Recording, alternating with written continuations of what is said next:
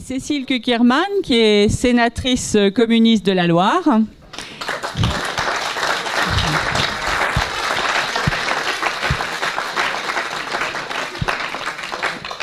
Euh, Édouard Martin, qui est euh, député euh, européen apparenté PS et que vous connaissez tous pour être une des figures emblématiques du syndicalisme à Florange.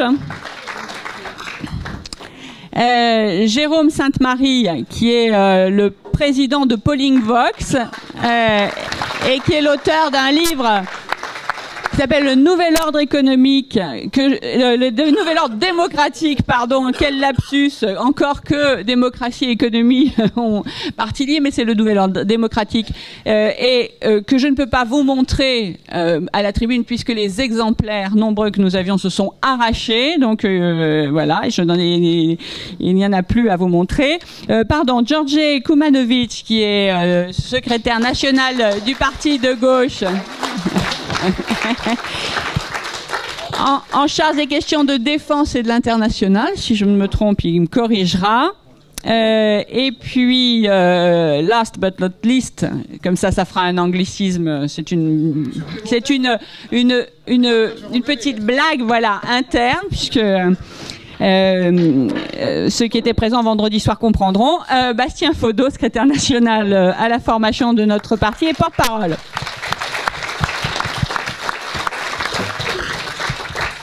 Merci euh, à vous tous d'avoir accepté d'être euh, euh, nos invités dans ce débat qui, comme d'habitude chez nous, ne manque pas d'ambition puisque nous avons dit quelle alternative en 2017 je reconnais bien là Jean-Luc euh, Laurent de nous fixer des objectifs euh, euh, précis, mais parce que déjà quelle alternative ça méritait tout, tout, un débat, mais alors quelle alternative en 2017 On va essayer de résumer ça dans la table ronde, mais ça va être ça va être chaud. Sur cette question, vous l'avez bien compris, le titre c'est pour la France et pour l'Europe, il y a une alternative. il y a une alternative c'est notre réponse euh, au TINA, qui est aussi un anglicisme, mais qui a un anglicisme avec une jolie connotation euh, euh, italienne. Donc voilà, mais qui, par contre est un une chape de plomb qu'on a mis sur les peuples depuis de très nombreuses années.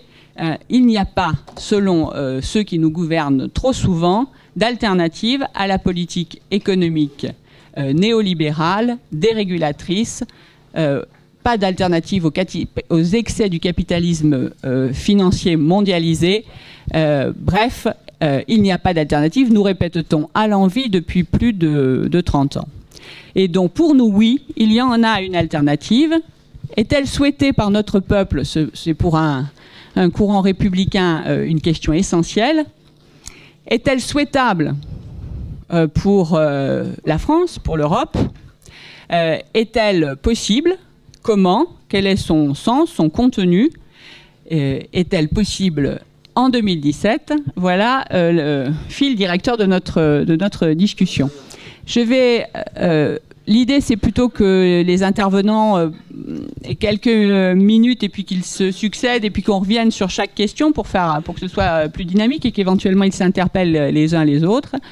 mais je vais commencer, puisque la question était sur quelle est l'alternative est-elle souhaitée?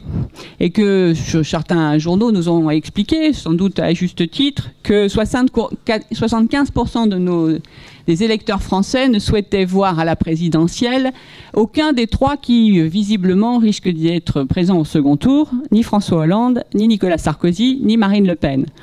Euh, ce qui fait, euh, voilà, ils voudraient, alors eux, ils voudraient une alternative euh, incarnée euh, physiquement, j'allais dire. Du moins, c'est ce qu'on pense. Mais puisque nous commençons par est-elle souhaitée, bien sûr, les politiques diront comment ils le ressentent dans leur action, mais on va peut-être commencer par Jérôme Sainte-Marie, qui va peut-être nous dire, de son point de vue professionnel, comment c'est exprimé, si c'est ressenti, et éventuellement plus tard, quelles implications ça a.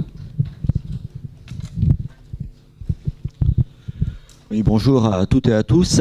Euh, donc effectivement, ma misérable condition de sondeur va m'amener à vous parler un petit peu d'opinion et à cacher les miennes derrière les chiffres qui sont disponibles. Euh, disons, pour aller, pour pas faire un propos liminaire un peu, un peu long, qu'on traverse une période qui n'a jamais été aussi intéressante depuis 30 ans. En effet, on, il semblerait que le modèle politique sur lequel la vie, euh, démocratique française s'organise euh, depuis 1984, ce modèle politique semble vivre euh, ces derniers mois. Alors pour l'appui de cette thèse un peu radicale, voyons un petit peu quel était ce modèle-là. Au fond, on parle d'alternative et d'alternance. Depuis le début des années 80, nous connaissons un rythme d'alternance à peu près systématique, à la seule exception de 2002 et encore, et des alternances qui en plus par le jeu du quinquennat sont de plus en plus rapides. Et euh, l'opinion, progressivement, au fil, euh, désormais qu'elle peut comparer assez rapidement euh, les politiques publiques suivies, l'idée s'est répandue que ces différentes alternances ne représentaient pas une quelconque alternative pour avoir milité dans vos rangs il y a cela assez longtemps désormais, il était à l'époque nécessaire d'évangéliser en quelque sorte les gens pour leur montrer que l'alternance ne signifiait pas forcément alternative. De ce point de vue-là, euh, la pédagogie a fonctionné, la pédagogie par le fait, et aujourd'hui la plupart des Français euh, considèrent qu'effectivement il y a une continuité sur les dossiers économiques, comme l'incarne à la perfection pour l'opinion ce qui d'ailleurs peut être apprécié par certains, euh, la politique du d'Emmanuel Macron, mais également en matière de mœurs, qui a été un peu en quelque sorte le dernier refuge euh, du clivage gauche-droite. Là aussi, euh, il y a, alors la critique vient plutôt de la droite, il y a le sentiment d'une confusion totale des politiques suivies en matière économique comme en matière euh, de mœurs, le tout sous l'encadrement juridique de l'Union européenne, avec l'idée que de toute façon, euh, ceux qui exercent le pouvoir national ont un pouvoir qui est euh, relativement limité. Donc ça, cette idée-là a largement pénétré l'opinion. Et on voit bien en plus qu'il n'y a pas de désir par rapport aux, candidats le plus probables à gauche comme à droite pour la prochaine élection présidentielle. Alors tout ça serait tout à fait, euh, comment dirais-je, fécond euh, pour votre démarche si euh, évidemment les choses n'avaient pas pris un tour électoral tout à fait différent, avec désormais une tripartition de la vie politique qui n'est plus une vue de l'esprit, mais qui est une évidence. Au fond, le système fonctionnait avec une alternance systématique et un tiers exclut le Front National à 10 à 15% Aujourd'hui, c'est désormais une tripartition à peu près égale. Prenons les dernières élections départementales, de deux trois chiffres. la gauche qui précédemment avait fait rassembler 50% des suffrages, cette fois-ci n'en a plus rassemblé que 35%. Inversement, le Front National a accédé à 25% des suffrages exprimés dans une élection qui lui était, comme les européennes d'ailleurs, euh, structurellement défavorable.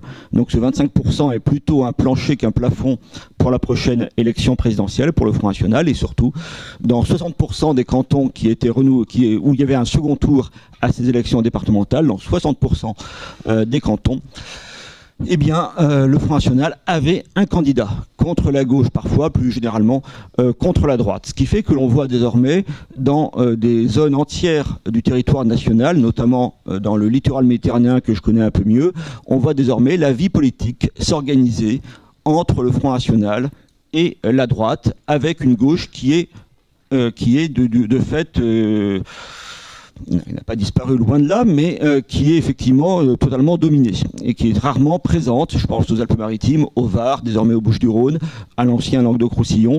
Vous avez là quand même des territoires où la vie politique s'organise entre la gauche, euh, avec une gauche très dominée.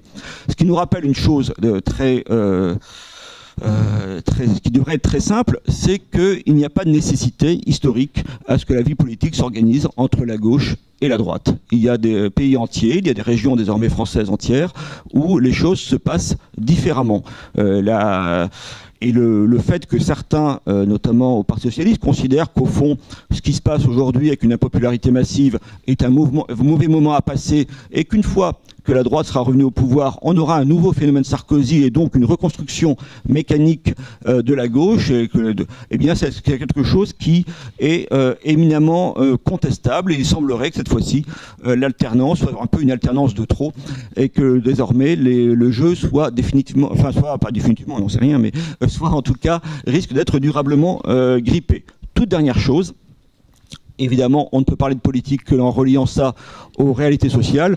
Cette crise politique n'a de sens et ne se produit que parce que la crise sociale est majeure, que parce qu'il y a 5,5 euh, millions de chômeurs, toutes catégories confondues, parce que les, justement, on parle d'alternance, les, ben, si Nicolas Sarkozy et François Hollande se présentent à la prochaine élection présidentielle, ils pourront s'opposer euh, dans les débats télévisés chacun le million de chômeurs supplémentaires qu'ils auront euh, produits durant euh, leur quinquennat.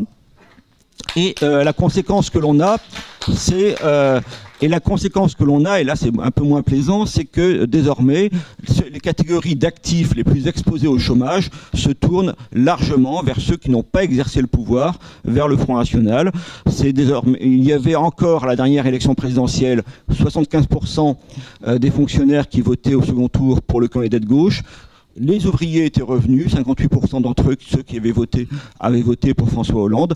Aujourd'hui, non seulement les sondages, mais également euh, ce que l'on peut observer par bureau de vote par bureau de vote dans les élections, montrent qu'il y a une désaffection majeure des, euh, employés et des ouvriers, au point que dans les sondages, ce sont désormais les cadres supérieurs qui sont la catégorie qui vote le plus pour euh, ce qui représente la gauche, en tout cas pour le Parti socialiste. Voici quelques éléments pour lancer le débat. Je vous remercie.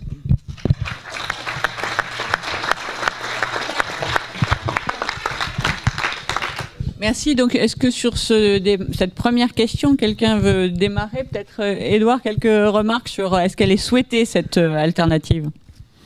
Bonjour à toutes et à tous. Euh, alors, au, vu du mini constat qui va d'être fait, effectivement, c'est plus que affligeant. Et j'ai envie de dire que, parce qu'on entend souvent qu'il y a une crise de la politique en France, moi j'ai envie de dire que c'est faux. Il n'y a pas une crise de la politique. Les Français s'intéressent à la politique. Il y a une crise des politiques. Et je crois que là, vous, le démontrez très bien. Aujourd'hui, nous avons un, vrai défi à relever, c'est que euh, les candidats, quels qu'ils soient, et vous, venez de citer les trois, les trois les plus les plus connus, en tout cas les trois annoncés, euh, ne, trouvent pas crédit aux yeux des Français, ne trouvent pas crédit aux, yeux des Français. Pourquoi? Parce que, euh, alors hormis Marine Le Pen, mais les deux autres ont été ou sont en situation de, de, gérer le pays et, ils démontrent qu'ils ne sont pas en situation de respecter un programme politique, un programme politique. Et, et moi, je pars du principe qu'un programme politique, c'est un contrat, il faut le respecter. Et s'il n'est pas respecté, ben, il faut sanctionner. Alors effectivement, l'alternative, non seulement elle est souhaitable, je dirais même qu'elle est indispensable. Elle est indispensable euh, euh parce qu'on voit bien euh, au niveau européen, hormis quelques situations qui, moi, de mon point de vue, me, réjouissent, du côté grec, du côté espagnol, avec la, vague Podemos, même si Podemos, faut faire attention, parce qu'il y a, je, je, trouve que l'élan est intéressant, mais il y a aussi une part de populisme certaines fois, mais l'idée, l'idée est intéressante. C'est comment on remet le citoyen au cœur des décisions et comment on lui redonne toute sa place. Euh, donc effectivement, l'alternative, il faudra que demain, euh, les forces de gauche, j'espère, euh, quel que soit au-delà de la personnalité qui les représentera, sont en capacité de parler aux citoyens, de parler aux citoyens, mais aussi d'être crédibles et d'être en mesure euh, d'apporter la preuve qu'une fois en manette, le programme qu'il nous vend, il le mettra bien en application. Et toute la difficulté est là, parce que le citoyen veut qu'on lui parle. Il veut qu'on mette une politique pour lui.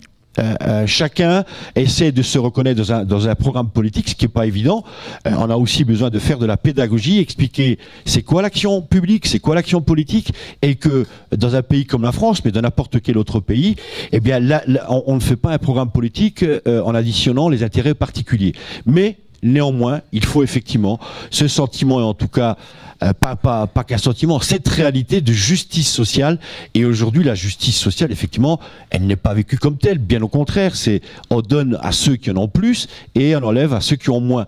Et c'est vrai qu'en France, mais partout en Europe, on a, on a rarement eu des gens de plus en, une petite euh, partie du sommet euh, euh, des, plus puissants en Europe qui sont de plus en plus riches et puis euh, une vague de plus en plus grande, de plus en plus pauvre. Et, et là, effectivement, entre guillemets, le programme politique, qu'il soit français, qu'il soit européen, c'est pas excitant comme programme. Mais effectivement, l'alternative est indispensable parce que comme je le disais et je vais je vais clore parce que je veux pas monopoliser la parole monopoliser la parole hormis l'Espagne où il y a un sursaut effectivement des citoyens la Grèce avec, on peut en débattre la situation grecque, mais moi j'ai beaucoup, j'ai beaucoup apprécié l'action de, de, de, Tsipras. Chacun pourra penser ce qu'il veut. on voit que partout ailleurs, c'est la montée des nationalismes. Euh, l'extrême droite, euh, en France, en Hongrie, en Slovaquie, en Finlande, euh, y compris en Allemagne. C'est nouveau. J'ai discuté dernièrement avec des collègues allemands qui sont effarés de voir qu'ils ont eu un élu quasiment nazi. C'est du jamais vu. Vous, imaginez ce que ça peut représenter dans la tête d'un Allemand avec cette, blessure qui est encore là, béante. Donc oui, elle est indispensable, cette alternative. merci, Edouard. Georgie, peut-être euh, également une réaction sur ce premier, euh, cette première question est-elle souhaitée? Oui, merci. Bonjour, euh, bonjour à tous. Alors effectivement, il faudrait être aveugle ou ne pas connaître du tout le peuple français pour penser qu'elle n'est pas souhaitée. Et je suis entièrement d'accord avec ce que vient de dire Edouard Martin. c'est plutôt une crise des politiques, ce que les Français veulent. Ils ont juste assez. Je crois que tu en sais quelque chose dans la vallée des anges. Euh, on a rencontré des citoyens qui, qui voteraient bien, mais refusent de voter pour euh, ce, que tu as, ce qui a été décrit, une alternance euh, avec des politiques tout le temps les mêmes, auxquelles on peut ajouter une continuité géopolitique. Parce que c'est le même suivisme atlantiste, c'est le même abandon de la souveraineté nationale, et je crois qu'il y a une sensation dans le peuple qui est qu'il faut revenir à la souveraineté populaire par la souveraineté nationale, par une république euh, plus forte, et que c'est pas incarné du tout par les, candidats, euh, en tout cas euh, du Parti socialiste et de, et l'UMP.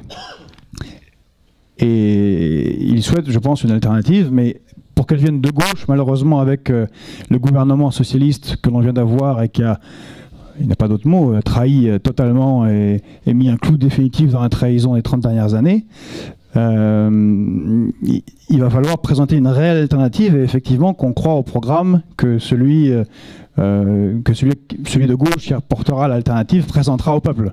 Il faut que ce soit une vraie rupture avec ce qui a été présenté jusqu'à maintenant.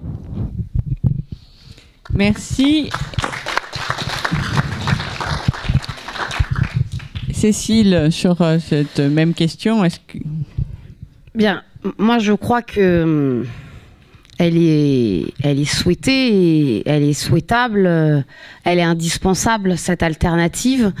Et euh, les différents chiffres qui ont été évoqués euh, en, introduction démontrent, en tout cas, le fait que pour un certain nombre de nos concitoyennes et concitoyens, ils ne se retrouvent plus dans les politiques qui sont mises en place et l'alternance qui a effectivement été vantée comme la possibilité de, faire avancer euh, le pays pendant un certain nombre d'années ne répond plus en tout cas à l'exigence de, la population. Après, je, crois qu'il ne faut pas non plus être dans l'angélisme euh, sur le fait que cette alternative serait souhaitée euh, et quasiment en train de réussir demain. la population et aussi et, les citoyens sont pris aussi avec des contradictions. Euh, moi, j'ai entendu pendant les élections départementales des mêmes personnes euh, m'expliquer euh, dans la même phrase quasiment le rejet d'une politique gouvernementale, d'un sentiment d'avoir été trahi dans leur vote de mai 2012, et en même temps, quelle efficacité pour celui qui va voter de mon vote et, la peur d'un extrême droite montant et donc tout ça se traduisant à la fin par un vote utile euh, euh, en, faveur euh, du, de candidats du Parti socialiste, alors que dans le début de la phrase, il était, il, était affirmé avec force que plus jamais on votera socialiste.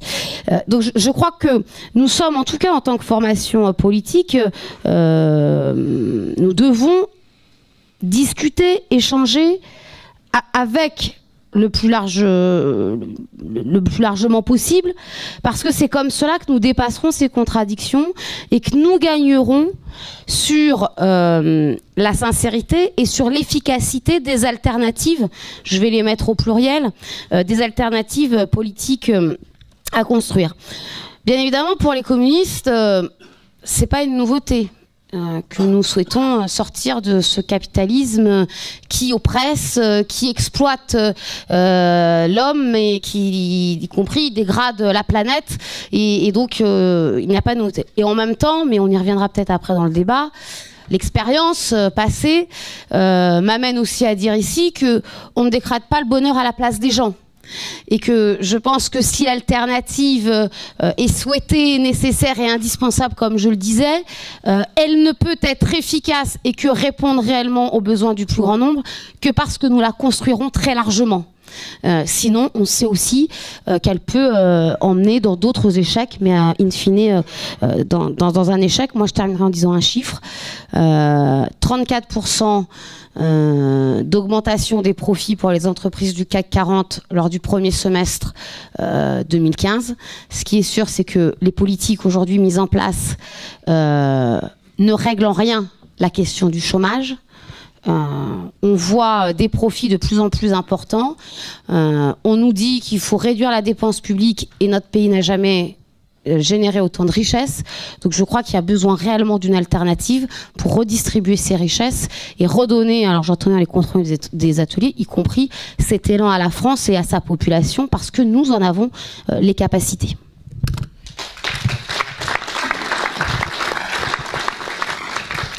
Merci euh, Cécile, ça donné envie à Jérôme de réagir et après je donnerai la parole à Bastien s'il le souhaite. Excusez-moi de reprendre la parole, mais c'est juste que je me rends compte en vous écoutant que j'ai pas tout à fait répondu à la question au départ. Euh, soyons bien précis par rapport à ce que peuvent dire les Français, en tout cas à travers ce que je peux en savoir par les études d'opinion. Dire que l'alternative est souhaitée n'est pas tout à fait exact. Elle est ressentie comme nécessaire, c'est tout à fait autre chose. C'est-à-dire que pour l'instant, c'est un désir qui est purement négatif. C'est le sentiment d'impossibilité de, continuer tel que c'est mené jusqu'à présent pour cause d'échec fondamental et le sentiment en plus que ce n'est plus une crise que nous traversons mais que c'est un déclin. Donc ces idées de déclin voire de décadence qui s'imposent dans le débat public. Ces idées, elles sont rarement portées, il faut bien le dire, par les forces de gauche. C'est pas tout à fait dans, le lexique euh, habituel et on comprend pourquoi. Et euh, donc c'est pour ça qu'il ne faut pas se rassurer, je pense, en pensant qu'il y a un désir alternatif parce qu'il n'y a pas un désir positif d'adhésion à une idéologie particulière, y compris d'ailleurs pour la plupart de ceux qui s'apprêtent à voter pour le Front National. Bastien? Oui, pour, rebondir sur ce qui a été dit, euh, la question aujourd'hui, compte tenu de, Le peuple français est dans un état de fatigue, d'épuisement. Euh, l'erreur, je pense, euh, que peut commettre disons, la gauche euh, radicale, dans la façon dont elle va construire un discours critique, c'est qu'elle pense que le peuple français souffre. C'est vrai, mais ce n'est pas suffisant. Les Français, ils ne sont pas seulement en souffrance, ils éprouvent une infinie tristesse.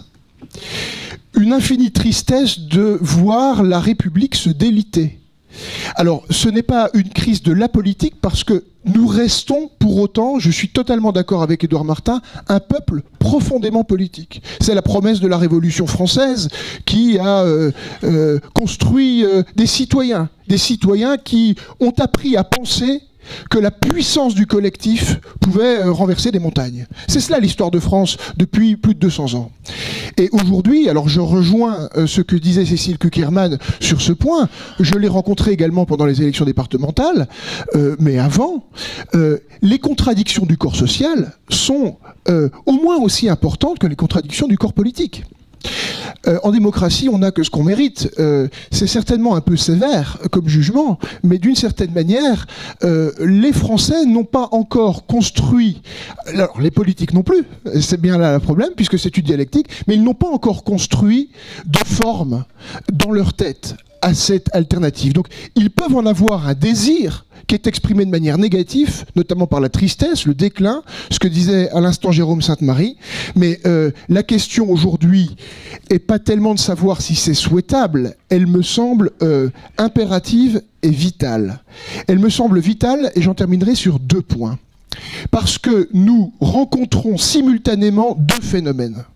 C'est d'une part l'affaissement de l'État, l'État conçu comme autorité en France. Autorité collective qui impose euh, des choix politiques qui sont ceux de la majorité. Et puis l'effacement de la démocratie, l'effacement de la démocratie qu'on a vu avec le traité de Lisbonne. Je ne reviens pas là-dessus. On a les uns et les autres beaucoup évoqué euh, ce point dans nos discussions depuis quelques années. Mais c'est aussi ce à quoi nous avons assisté en Grèce cet été, ce à quoi nous assistons euh, en Europe d'une manière générale, où nous voyons les peuples pris dans la nasse, dans le piège euh, des institutions européennes, qui prétendent à être une forme et qui sont avant tout un contenu politique. Et là est, d'une certaine manière, le piège, là est l'arnaque profonde de cette construction européenne qui euh, renvoie les peuples à euh, euh, l'impossibilité de la puissance du politique. Merci Bastien. Euh, merci à Cécile d'avoir euh, ramené euh, la chose au point qui fait question. C'est-à-dire que si nous avons tous le sentiment qu'elle est souhaitée, en fait, elle est, comme vient de le dire Bastien, souhaitée de façon négative, c'est-à-dire tout plutôt que ce qu'il y a actuellement, mais qu'elle ne prend pas la forme d'une mobilisation pour un, projet, ce qui pose une question précise, non pas au Front National, qui se nourrit des peurs euh, et d'un discours euh, simpliste, voire contradictoire. Je vous rappelle que entre le libéralisme absolu à tout craint du père et euh, la figure de mère tutélaire de la République protectrice qui essaye de prendre sa fille, il y a le grand écart le plus absolu sur le plan des théories économiques. Heureusement que Marion est là pour rappeler la tradition. Mais, mais donc, comment les Français peuvent-ils imaginer que, mais d'ailleurs, je pense qu'ils ne l'imaginent pas, mais que ça les empêchera pas de se servir de l'outil, mais qu'ils n'imaginent pas que ce parti qui peut dire tout et son contraire euh, est plus crédible que, que, les autres. Mais euh, cependant, la question qui nous est posée, et de façon, c'était déjà vrai par ces alternances vides, mais c'est encore plus vrai aujourd'hui à travers, euh, depuis l'exemple grec, c'est non pas est-elle souhaitable, ce qui était ma première formulation, mais est-elle possible? Est-elle souhaitable parce que possible Et est-ce que, euh, est-ce que finalement euh, euh, nos élites, je sais pas comment on peut dire, européennes, européo-libéralistes, on, pourrait créer des mots, mais bref, vous voyez de qui je veux parler. on va essayer de pas trop en inventer des barbarismes, même en français. Et donc, est-ce que, est-ce que la leçon qu'ils ont donnée au peuple grec cette leçon absolue qui est hors de nos solutions, pas de solution. C'est-à-dire, bien sûr, vous avez des plans qui marchent sur le plan économique, mais c'est pas notre problème. C'est ou notre solution ou euh, l'asphyxie et la mort. Euh, donc, euh, asphyxie financière hein, et la mort. c'est cette leçon qui a été donnée aux Grecs, où pendant six mois on les a amenés au bord du précipice, à l'asphyxie complète et quand il a fallu donner la pichenette, on leur a dit on est prêt à la donner, donc ou vous pliez, ou vous capitulez, ou on pousse. Euh, cette leçon, est-ce qu'elle a été faite seulement aux Grecs? Est-ce qu'elle a été faite plutôt essentiellement, comme le disent par exemple les, responsables euh, politiques hollandais qui, à leurs euh, journalistes qui leur disaient mais vraiment, la Grèce est tout petit, économiquement ça se résout, pourquoi vous n'avez pas fait l'effort? Texto, le responsable, le Premier ministre euh, hollandais leur a répondu, mais parce que si nous avions résolu le premier problème de la Grèce, ça aurait donné des idées aux Français. C'est donc bien une leçon au peuple français qui a été faite à travers la, leçon aux Grecs. Quand je dis aux Français, je pourrais dire aux Espagnols et aux Italiens, mais je pense que c'est cette question-là. Donc, est-ce qu'elle est souhaitable? Est-ce qu'elle est possible? Comment on la construit en positif? C'est le thème peut-être de notre deuxième débat. Et je vais donner la parole en premier euh, à Cécile sur cette euh, question. Vaste question là. Hein c'est pas un piège, non, non, non. c'était. Bien. Euh, je suis pas sûre de pouvoir y répondre, mais je suis pas sûre qu'on puisse euh, y répondre euh, dans le temps imparti. Je crois qu'en tout cas, l'objectif de, ces tables rondes et de ces rencontres que, que nous avons, c'est en tout cas d'y réfléchir et d'y amener, parce que nous sommes certainement convaincus de la nécessité de, pouvoir réussir à, ces alternatives. Et ce que rappelait Catherine sur la situation de la Grèce, nous invite sans aucune prétention d'une France qui serait euh, supérieure à d'autres au sein de l'Europe ou, plus largement sur la planète, mais nous invite tout de même à, réfléchir. si demain la France se dotait d'un gouvernement qui réellement entende faire de l'Europe autre chose que ce qu'elle est aujourd'hui, bien évidemment, le, poids euh, que nous aurions serait différent, y compris que celui qu'a eu le peuple grec et de la faible possibilité de manœuvrer euh, qui, euh, qui restait à son gouvernement. alors, comment on l'a construit cette alternative? Parce que moi, je crois qu'on l'a construit tout d'abord sur une exigence de programme politique qui bien évidemment n'est pas l'unanimisme parce que sinon il n'y aurait qu'une seule formation euh, politique. Et dès lors qu'il y en a plusieurs, c'est bien que même si nous avons des points communs et des choses qui peuvent nous rassembler, nous avons aussi chacune et chacun euh, nos spécificités. Mais je crois que cela se fait euh, dans, cette sincérité. Alors, bon, l'expression... du, front de gauche et, des élections présidentielles était de ne rien lâcher. Je ne sais pas si c'est ce mot qui, qui l'incarne le plus, mais oui, il y a des combats qui sont difficiles à mener et euh, euh, on pourrait se dire que certains seraient trop, compliqués et qu'il faudrait renoncer.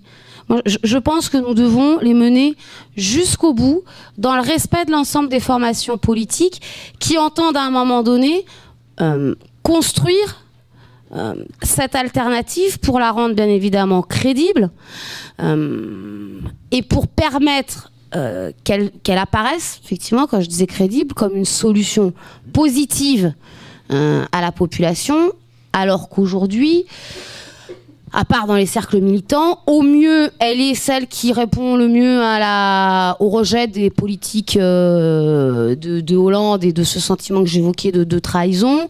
Euh, et sinon, d'ailleurs, euh, on le voit dans les différents sondages, y compris après d'élections, quand même un, électorat de gauche qui s'abstient massivement.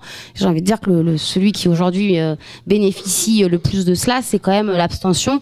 Et moi, je pense que c'est avant tout euh, euh, auprès de ces personnes-là qu'il faut que nous puissions nous adresser et les ramener, les ramener aux urnes. Mais avant, mais pour les ramener aux urnes, de les ramener dans la bataille, dans les batailles politiques.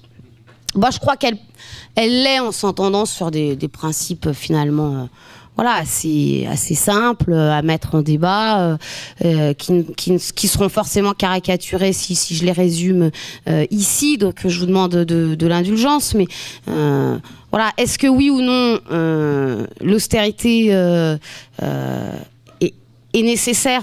J'ai envie de dire, non pas être une fatalité, mais est nécessaire. Est-ce que oui ou non les politiques qui aujourd'hui euh, sont justifiées comme étant euh, euh, la seule solution pour répondre à la crise, elles le sont Non, et je crois qu'on est un certain nombre aujourd'hui, et de façon très large, dans ce qu'est la gauche dans sa diversité, à dire que les réponses politiques aujourd'hui qui sont mises en place à l'échelle de la France ne font qu'aggraver, y compris euh, la situation de crise, et ne répondent pas à l'emploi, je le disais euh, précédemment, et ne permettent en rien de sortir de l'austérité. Est-ce que le dogme de la réduction de la dépense publique comme étant une nécessité pour euh, répondre à la crise de la dette, on continue d'y répondre favorablement, ou est-ce qu'à un moment donné, on dit stop? C'est-à-dire que quand on nous parle de réduction de la dépense publique en France aujourd'hui, on le sait, c'est la casse des services publics, c'est la casse du lien entre voilà, entre les Françaises et les Français. C'est la remise en cause de toutes les politiques de solidarité qu'on peut d'ailleurs décliner. Donc voilà, est-ce que oui ou non on se satisfait d'avoir une France qui euh, euh, fait euh, voilà des, grands messes autour de la COP 21 et s'enorgueillit d'accueillir la COP 21, mais dont on sait qu'aujourd'hui rien n'en sortira? Et est-ce qu'il y a un moment donné à gauche, on est en capacité de dire que oui, bien évidemment, c'est en retravaillant le rapport de des hommes entre eux? Voilà, je vais pour rester très large, je n'utiliserai pas de, de, de, vocable particulier, mais des hommes entre eux, parce que dans le rapport de l'homme à la nature aujourd'hui, nous sommes complètement inégalitaires. Et donc la question, elle n'est pas simplement de sauver la planète pour sauver la planète, mais elle est que si on veut réellement sortir de la crise climatique, elle impose de remettre en cause le modèle économique et social dans lequel nous sommes, parce que 50% euh, de la pollution euh, est le produit de 80 euh, entreprises dans le monde. Donc voilà, ça veut bien dire qu'à un moment donné, il va bien falloir se l'attaquer et que c'est les rapports des hommes entre eux qui, seront les premiers bénéficiaires. Donc moi, je crois qu'elle est, elle est souhaitée, elle est souhaitable au sens politique du terme, et effectivement, elle n'est pas une n'est pas une donnée en soi. Il nous appartient de la construire. 2017, je, ne sais pas, moi je, crois que les dates sont toujours très mauvaises. Peut-être qu'il nous faudra, bien évidemment, il faudra amener des réponses. Mais et si les formations politiques euh, de gauche que nous sommes euh, ici, on sortait euh, du quinquennat et donc de ce qui se passe avant le quinquennat, pendant le quinquennat, après le quinquennat, parce qu'après le quinquennat, on est déjà dans l'avant-quinquennat suivant.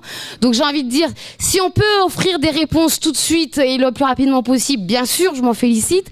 Et en même temps, ne nous, voilà, il n'y a, pas l'avant, avant 2017 et après plus rien. Je crois que la vie, elle continue. En tout cas, euh, le, combat politique continuera dans tous les cas. Merci euh, Cécile. Euh, Georges, tu veux dire un mot? Alors, est-ce que c'est euh, souhaitable? Mais évidemment. Jaurès disait qu'il n'y a pas de, que la démocratie et la République sont de 20 mots sans justice sociale.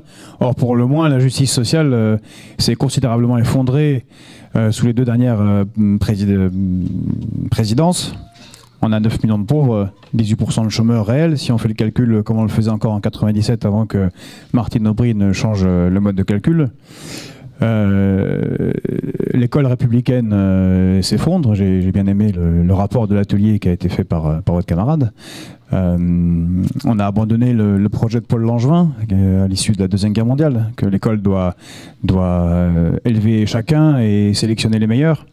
La santé s'écroule, on ferme, des, hôpitaux, on ferme des dispensaires. Euh, et il y a un véritable désespoir, effectivement, de l'ensemble, euh, enfin d'une large part de la population, en particulier des classes populaires, qui ne vont plus, qui effectivement ne vont plus voter. en tout cas, pas pour, euh, pas pour cela. Mais le peuple s'était mobilisé quand même fortement en 2005, alors qu'il y avait une campagne violente pour le, pour, euh, le oui au traité constitutionnel européen, il a voté non. Euh, il y a eu un déni de démocratie. Et on peut considérer que depuis, depuis ce moment-là, on est, on, est dans un, on est dans un déni de démocratie avec les différentes, euh, les différentes lois qui ont été, ou traités internationaux qui ont été, qui ont été passés, y compris récemment, puisque euh, François euh, Hollande n'est pas revenu sur euh, les négociations du TSCG. Il a la loi sur l'emploi. Et maintenant, on négocie, comme on en a parlé, le traité TTIP pour construire le grand marché transatlantique qui ne renforcera que plus encore la catastrophe sociale que l'on vit dans le pays. Je souhaiterais rajouter que c'est souhaitable également dans le domaine qui est, euh, où je suis plus compétent, qui est euh, les questions géostratégiques. Euh, on a, on a une situation où on s'est mis dans une situation très dangereuse en Ukraine, avec une quasi-guerre provoquée par l'Union européenne pour servir, des intérêts, pour servir les intérêts états-uniens. Euh, la gestion de ce qui, s'est passé en Syrie était, n'a aucun sens. Il y a deux ans, Hollande voulait bombarder euh, l'armée syrienne, ce qui aurait renforcé Assad. Pendant deux ans et demi, on les a renforcés en les armant de facto. Euh, on a un effondrement de la diplomatie française, en particulier dans le, dans le monde arabe, alors qu'elle était extrêmement, extrêmement forte. Et on en arrive à la GMT, au, au gros marché transatlantique, encore une fois. Et tout cela est une trahison totale euh, non seulement euh, de la gauche, mais euh, du, de, la République. Parce que comme c'était rappelé, je crois, par un des rapporteurs des ateliers, on a un article 3 dans la Constitution française qui rappelle que la souveraineté revient au peuple, soit par la voie référendaire, soit par ses élus au Parlement. Or, tous les traités internationaux conduisent à, de facto, à se retrouver dans une situation où on distinguait la gauche et la droite au moment de la Révolution française, où il y aura un veto imposé par une entité euh, supérieure, plus intelligente, euh, au peuple, euh, et donc la démocratie en est, en est totalement réduite. Donc l'alternative, quel que soit le candidat qui, qui l'apportera en 2017, doit clairement revenir sur prôner la, souveraineté populaire et la souveraineté nationale et réclamer une résistance à l'Union européenne et exiger la sortie de, l'OTAN. C'est pour ça que nous, on a appelé tous les partenaires qui, en France et en Europe qui souhaiteraient le faire à réfléchir à un plan B. Parce que la, contrairement à ce qu'on a, pu, euh, a pu dire, on a soutenu euh, la Grèce et Tsipras dans la lutte qu'ils ont eue euh, contre l'Union européenne. Et, c'est effectivement un pistolet sur la tempe qui leur a été mis pour accepter des conditions inacceptables. De toute façon, d'une certaine manière, ils n'avaient pas le choix parce qu'ils ne s'étaient pas préparés à un autre choix. Et puis c'est un petit pays. Et nous, la France, qui sommes quand même plus puissants, si on arrivait, comme tu disais, au pouvoir, si on réfléchit par avance en France, mais avec des partenaires internationaux aux mesures qu'on pourrait prendre euh, pour réellement résister, je crois qu'on ferait un pas et on proposerait une vraie, euh, une vraie alternative.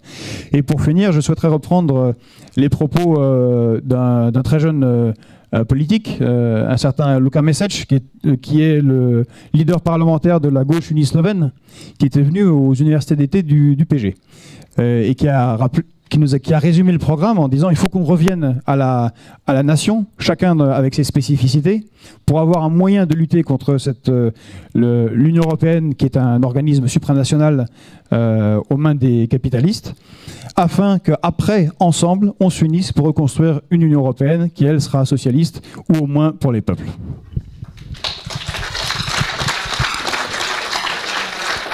Merci. J'ai entendu dans les deux propos qui viennent de, se passer euh, quelque chose auquel nous sommes sensibles, c'est qu'en matière euh, européenne comme en matière internationale, euh, si les Français ont l'impression du déclin, ce n'est pas tout à fait par hasard, c'est parce que la voix particulière de la France manque, manque terriblement. Et moi, je disais souvent que je n'avais je ne voulais plus Nicolas Sarkozy pour ne plus avoir honte. Je ne suis pas sûre que ma honte ait totalement disparu. En matière internationale, en tous les cas, à l'évidence, la voix de la France, comme ça vient d'être dit, manque. Euh, sur la question européenne, terriblement, euh, puisque Bien évidemment, nous ne sommes pas forcément un peuple supérieur, mais nous avons une puissance économique qui est ce qu'elle est, et nous avons une histoire et euh, une histoire de fondation politique sur le modèle social euh, qui peut être le, cristal. Donc, euh, vous voyez bien qu'entre est-elle possible, est-elle souhaitable et qu'est-ce qu'elle est, il y a, un lien.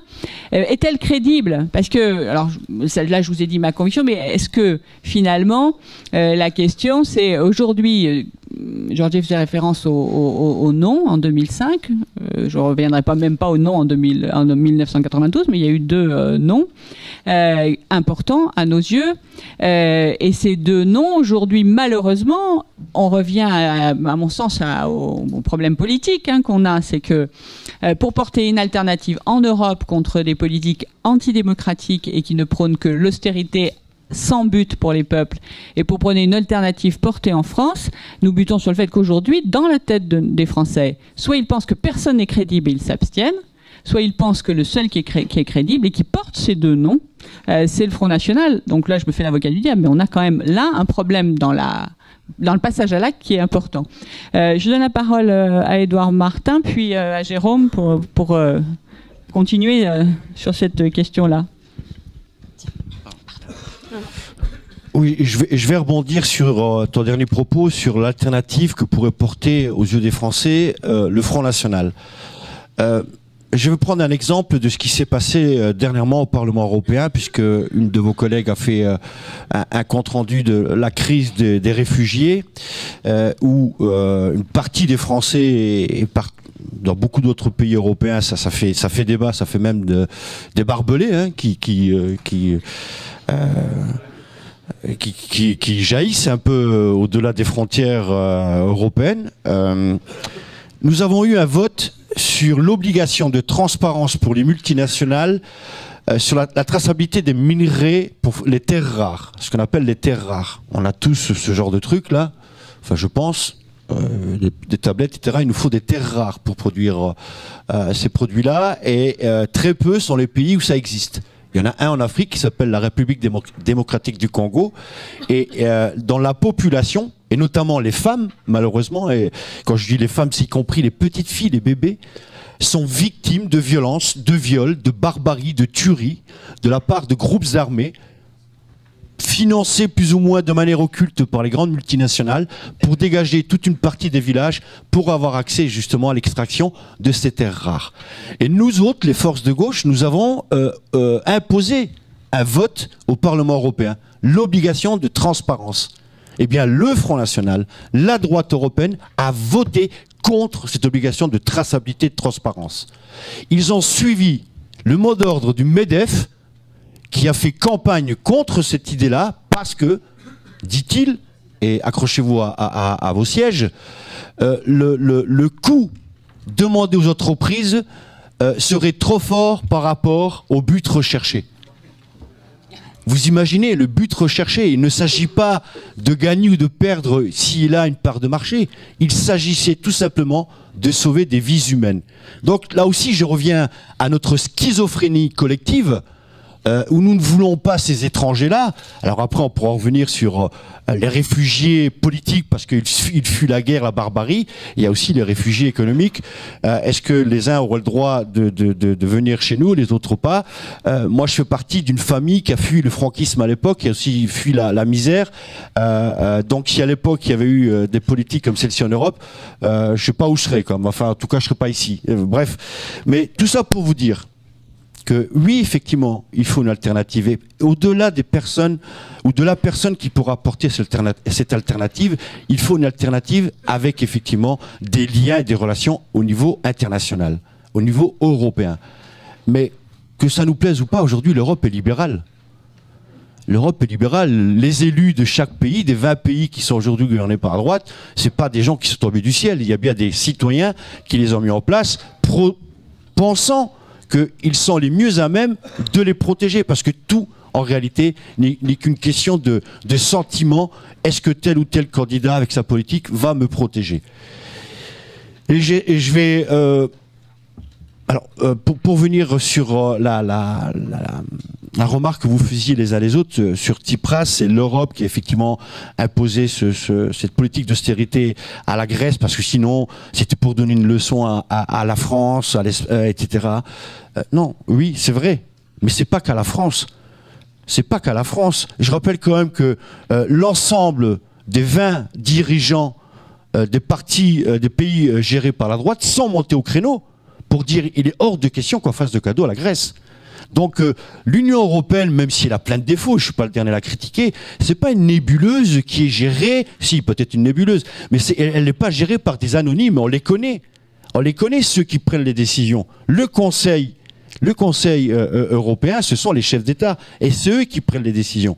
Donc c'est là effectivement qu'il faut peser et c'est là effectivement il faut une alternative euh, indispensable avec un, programme qui porte le citoyen au cœur de, toutes les politiques. Et pour, pour clore le débat, pour vous donner un peu que, enfin, mais vous le savez, l'idée que la démocratie et que les élus, lorsqu'ils savent pourquoi ils sont là et pour qui ils sont là, eh bien ça marche. Mais c'est le monde du travail les organisations syndicales qui sont tant. Et j'attends tellement de conneries, là, je m'en réfère à vous. Si un jour vous êtes invité sur un plateau télé, euh, arrêtez avec les conneries, pas vous, hein, mais ceux qui, ceux qui les alimentent. Le monde syndical français ne serait plus représentatif parce qu'ils n'ont que 7% euh, de taux d'adhésion, etc. Mais 7% de taux d'adhésion, quel est le parti politique qui a 7% euh, de taux d'adhésion? S'il n'y avait que le taux d'adhésion pour être légitime, il n'y aurait pas beaucoup de partis politiques légitimes pour parler au nom des citoyens. Ça, c'est la première des choses.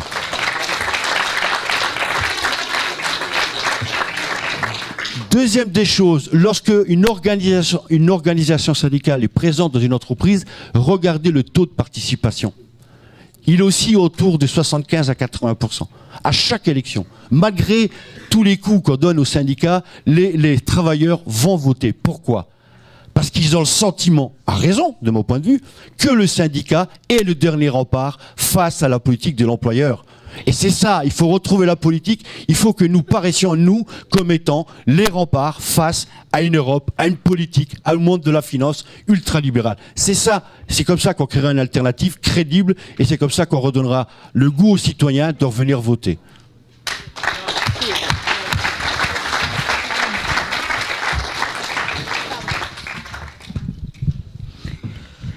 Euh, Merci Monsieur Martin. Effectivement, d'autant plus que euh, ça permettra, euh, par rapport à ce que je souhaitais exprimer, euh, c'est assez, c'est assez cohérent, même si je suis pas tout à fait d'accord avec vous sur bien des points. La première chose que je voudrais souligner, c'est quand même revenir sur la gravité de la crise, non pas de la crise française en général, mais de la de la gauche et non pas comme structure, mais comme notion insistons quand même un tout petit peu là-dessus. On a quand même une malchance historique, c'est qu'on a un gouvernement aujourd'hui qui fait preuve d'une sincérité tout à fait désarmante. C'est qu'il y a vraiment un reproche qu'on ne peut pas faire à ce gouvernement et à François Hollande, c'est de ne pas parler vrai. Il parle avec une vérité qui est tout à fait, euh, comment dirais-je, de cristal. Pardon? Non mais c'est ça. Et donc ça enlève tout faux semblant ça enlève tout semblant. La vérité libérale euh, de la politique menée et euh, contrairement, encore une fois, à ce que l'on devait faire euh, pédagogiquement il y a 20 ans, là aujourd'hui, c'est terrible. C'est terrible parce que du coup, ça installe quand même euh, dans l'opinion l'idée que la gauche, c'est ça. Et il faut quand même se poser toujours la question, on peut parler de Podemos et de Syriza, mais pourquoi, alors qu'on a une tradition républicaine, une tradition d'intérêt politique aussi importante qu'en France, une crise sociale qui est quand même pas mince, pourquoi il n'y a pas l'amorce d'un Syriza ou d'un Podemos en France? Et pourquoi, à l'inverse, alors même que les scores à la gauche du Parti socialiste n'étaient pas, pas négligeables à la dernière élection présidentielle. Pourquoi il n'y a aucune traduction politique de ce côté-là? C'est qu'il est bien insignifiant euh, le mot gauche qui est euh, quand même terriblement atteint. Par ailleurs, le temps passe. Euh, le temps passe et la gauche que l'on a connue n'est plus depuis un certain temps pour un jeune, alors je parle des étudiants que je peux côtoyais ou des jeunes chargés d'études en institut de sondage, qu'est-ce que c'est que la gauche? Et d'ailleurs, la plupart se disent de gauche. Ils n'ont euh, à la bouche que parité ou diversité, que la promotion d'identité particulière, et euh, mais par contre, la notion de mouvement ouvrier, etc., leur est totalement étrangère. Ensuite, ces gens-là lisent des médias, des médias de gauche un quotidien du soir que je lis malheureusement depuis assez longtemps, euh, lance des appels à peine déguisés au coup d'État en Grèce, euh, alors que c'était le rôle de, Raymond Aron dans le Figaro à l'époque du Chili. Mais là, maintenant, c'est le de le, Parmentier. Euh, ça peut agacer je, vous conseille euh, Raymond Aron du 14 septembre 73, c'est un article extrêmement intéressant. Et donc, euh, mais enfin, le Parmentier aujourd'hui, c'était avant, bon, ça s'est pas produit, mais enfin, d'une certaine manière, si. Bref, toujours est-il que pour dire que ça devient quand même très compliqué d'invoquer sans cesse une gauche, euh, dont je me souviens parce que je me fais plus tout jeune, mais euh, qui n'est quand même, euh, qu'est-ce que je lis des livres d'histoire, mais qu'est-ce que c'est aujourd'hui, sérieusement, pour quelqu'un de dire qu'une politique de gauche, la vraie politique de gauche, c'est ça. C'est très compliqué à exprimer. Ensuite, je crois, et là j'assumerai un propos populiste en toute tranquillité, comme d'ailleurs Podemos assume un propos ouvertement populiste avec Laclos, eh bien, c'est, faut voir aussi que la vérité vient quand même souvent de la base et que la base, elle, elle a choisi depuis un certain temps. Les gens ne peuvent pas se tromper par rapport à leurs propres intérêts depuis aussi longtemps. Tant et si bien qu'on a ce problème terrible qu'effectivement, vous l'avez dit, il y a ce désir de protection qui est exprimé euh, notamment par ceux qui sont les perdants euh, de la logique capitaliste. Ce désir de protection pour un temps, et j'espère pour un temps seulement, il prend d'abord le, besoin d'une protection nationale et peut-être peut devenir aussi le désir d'une préférence nationale. C'est bien ça le problème qu'il y a.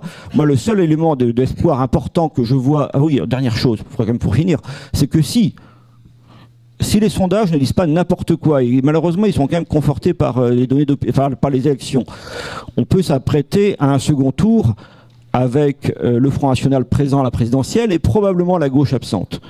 Imaginons cela.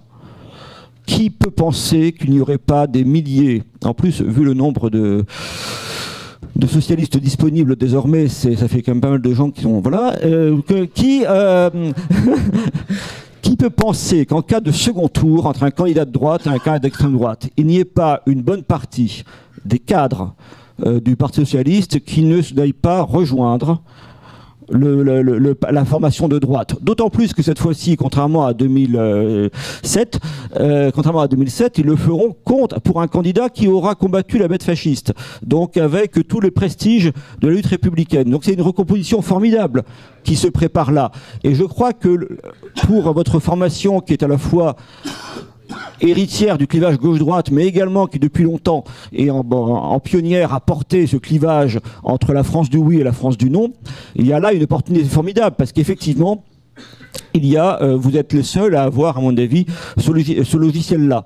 Mais euh, je comprends l'intérêt, évidemment, de garder cet ancrage de gauche pour les prochaines échéances électorales, et on ne fait pas de, politique hors sol, mais il faut voir que dans deux ans, euh, comment dirais-je, dans deux ans, sauf, je ne sais pas pour jouer les prophètes, mais tout l'indique, hein, et tout le monde s'y prépare, le contexte politique, les règles du jeu politique auront radicalement changé et paradoxalement, je pense que pour vous, ça sera plutôt une opportunité.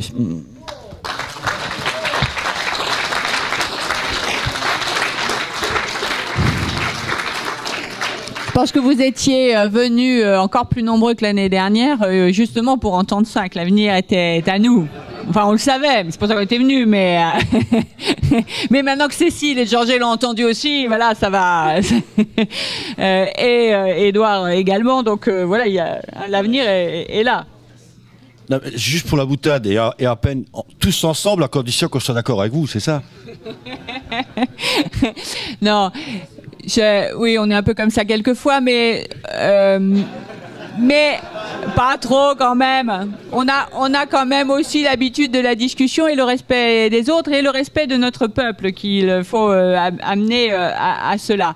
Je vais donner la parole à, Bastien Faudot pour faire l'articulation entre ce, qu'on vient, ce qui vient de se dire et la troisième phase de notre discussion, qui sera la dernière, et qui est quel, quel contenu cette alternance? Sur quoi? Sur d'alternatives, oh là là, c'est un lapsus euh, euh, consternant. Mais euh, donc sur, cette alternative, sur quoi elle porte et comment elle se construit, et si possible dès 2017, mais de ce que je comprends c'est peut-être un peu provocateur pour Jérôme Sainte-Marie, il va quand même falloir attendre qu'il y ait table rase. Alors, du clan de gauche, comment peut-on le dire Du clan humaniste de celui qui pense que le progrès doit profiter euh, à l'immense majorité euh, des peuples et non pas à une minorité de privilégiés, euh, de celui qui a battu l'aristocratie et les privilèges par une belle nuit d'août, de celui voilà, c'est pour ça que notre fil est républicain, parce que nous pensons qu'il est d'abord cela.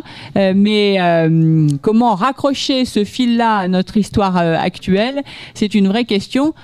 Pour être simple. Nous sommes, comme euh, Jaurès le disait, comme les membres du Conseil national de la résistance l'ont écrit dans leur programme, nous pensons que euh, la République et le socialisme ont partie liée, que c'est euh, les valeurs de la République qui vont jusqu'au bout, qui sont l'essence même de ce que devrait être la gauche, même si aujourd'hui le nom, le mot a peut-être perdu du sens, mais ce qui n'a pas perdu de sens, c'est le fait qu'une majorité doit se battre pour regagner des droits par rapport à une minorité qui, euh, qui l'opprime. L'exploitation n'a pas changé, elle est même plus violente aujourd'hui qu'hier. Et ce qui n'a euh, pas changé non plus, c'est qu'une petite minorité aristocratique pense aussi qu'elle sait mieux que le peuple ce qui est bon. Et elle le dit, elle l'exprime au niveau de l'Europe, alors que je partage avec Cécile et nous partageons l'idée que le peuple doit euh, pouvoir et en décider toujours. Donc, Bastien, le lien? Entre ce thème et puis qu'est-ce que comment on fait? Si ça ne te fait rien, Catherine, je vais d'abord répondre à la deuxième question. Euh, une alternative est-elle possible? J'en viendrai ensuite au contenu. Mais pour répondre et euh, articuler avec ce que vient de dire Jérôme Sainte-Marie, d'abord, ce qu'il faut voir, c'est que le Front National en France a commencé à naître politiquement vraiment au lendemain de 1983. C'est-à-dire à l'abandon la gauche de la nation. C'était nouveau, puisque ça faisait 200 ans à peu près qu'elle en avait fait son capital politique propre.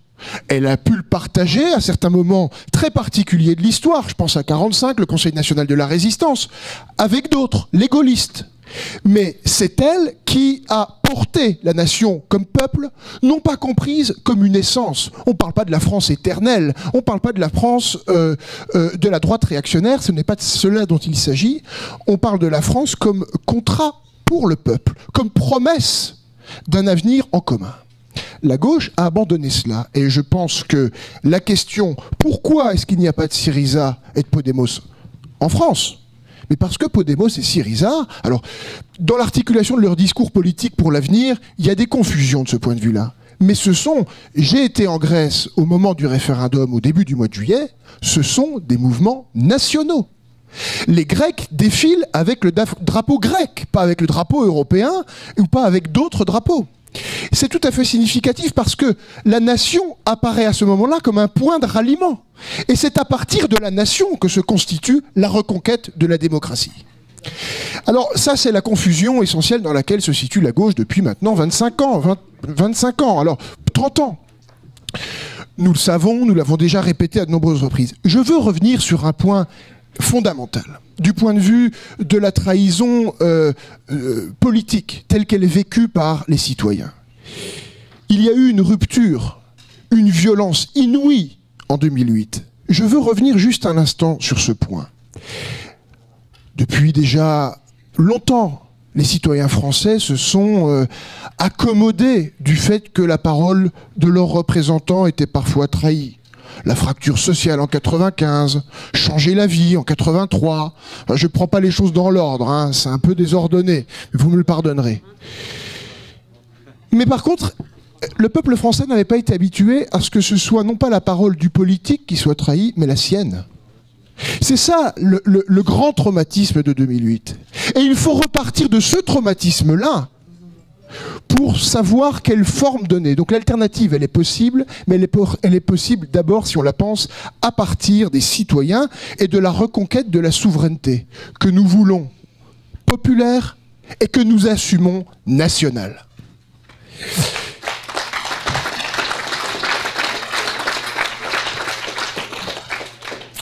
Je voulais faire une remarque sur un point par rapport à ce que disait Cécile Kukierman tout à l'heure on sent euh, l'esprit de résignation dans la population. On parlait euh, de euh, déclin, de tristesse. Mais il faut faire, faut prendre garde à cela pour ne pas être trop pessimiste dans l'approche. Parce que l'écart qu'il y a entre la résignation et la réaction, ça peut nous apparaître de l'extérieur lointain. Mais euh, c'est un peu comme une casserole d'eau, en fait, quand on la met sur le feu. Entre 1 degré et 99 degrés, extérieurement, elle ne change pas. Il y a un changement d'état quand elle gagne 1 degré et qu'à 100 degrés, elle devient vapeur. Ce que je veux dire par là, c'est que il faut très peu de choses dans un système aujourd'hui euh, de contraintes fort euh, que le peuple vit souvent comme une humiliation du point de vue des inégalités, du point de vue de la trahison de la parole publique, pour que euh, l'État change. Fait. Un seul degré peut. Donc il faut euh, prendre garde à cela parce que j'ai le sentiment aujourd'hui que les corps constitués de citoyens en Europe sont un peu comme de la nitroglycérine et que euh, il faut les, les comment dirais-je, les approcher avec une certaine douceur tout de même. Alors un point fondamental également, à mon sens, pour que l'alternative soit possible, c'est de réinvestir le clivage gauche-droite. Je crois qu'il faut qu'on sorte là aussi d'une solution euh, qui apparaît, qui est défendue par certains. Ça a été un des enjeux du débat politique de notre Congrès, parce que euh, je considère qu'il y a une contradiction fondamentale à penser sortir de la crise politique euh, qui euh, naît d'une certaine manière du brouillage du clivage. Les citoyens sont désespérés que la gauche et la droite mènent une même politique. Donc il y a pour moi une contradiction fondamentale à imaginer sortir de cette crise en avalisant d'une certaine manière le fait que la gauche et la droite sont la même chose ou qu'on peut les dépasser par une autre chose.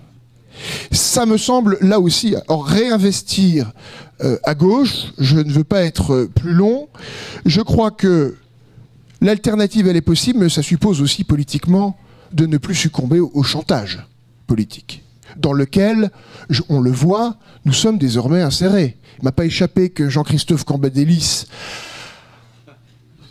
avait commis un appel désespéré à travers l'invention d'un référendum euh, sur euh, le rassemblement nécessaire de la gauche. Mais enfin, est-ce qu'il y a des gens que ça peut émouvoir encore dans ce pays? Faut-il être à ce point Faut-il être à ce point déconnecté du monde réel pour formuler de, tels désirs? La gauche, elle n'a pas besoin de se rassembler. Elle a besoin d'avoir les idées claires. Elle a besoin d'avoir une parole libre. Et le peuple français a besoin qu'on lui parle euh, le langage de la République qui est aussi une transgression. Et aujourd'hui, au moment où les appareils politiques apparaissent pour beaucoup comme des batteries d'élevage, quoi, en fait, euh, avec des tas d'animaux domestiques, ben, je pense que la, vie politique a besoin un peu de bêtes sauvages, quoi, en fait. Voilà.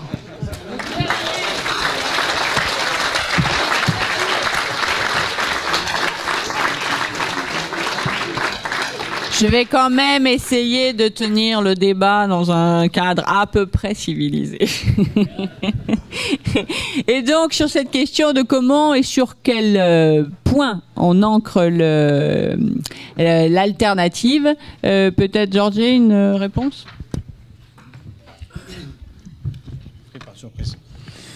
Oui, bah, la blague pour, euh, par rapport au référendum, ce que les socialistes font des référendums euh, jusqu'à maintenant euh, ne nous incite pas du tout à participer à un quelconque référendum avec eux.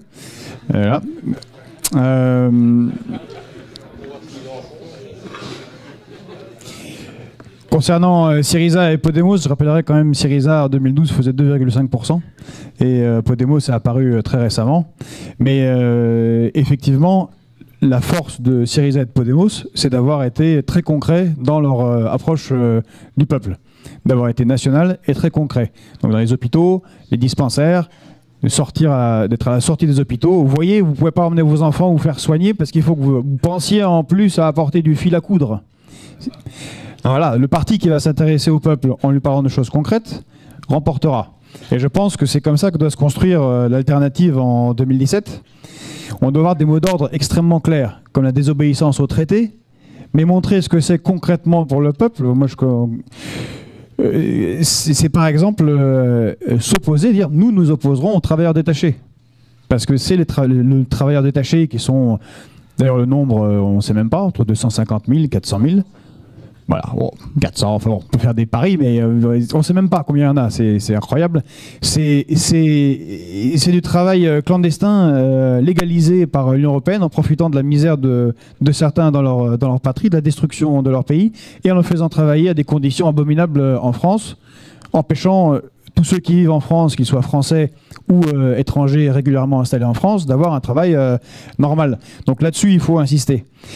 Et on nous dira euh, que euh, même si la France est, plus puissante que la Grèce, ça va être difficile parce que tous les peuples seront, enfin les autres, les autres euh, se rencontrent.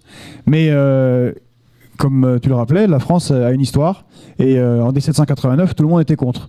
Et c'est justement en 1792, le 20 septembre, que certains ont pu fêter récemment, qu'au cri de Vive la Nation, des soldats à moitié formés mais volontaires ont bloqué les armées professionnelles qui voulaient remettre l'ordre tel qu'il était. Et je crois qu'on doit effectivement, je suis d'accord avec, avec, ce que disait, avec ce que disait Bastien, il faut, j'ai dit tout à l'heure, il faut en revenir à la nation. Donc on ne va pas ici répéter que c'est pas la nation des fascistes, c'est la nation concept créé par la gauche justement et qui a été porté par la gauche, comme tu as très bien dit.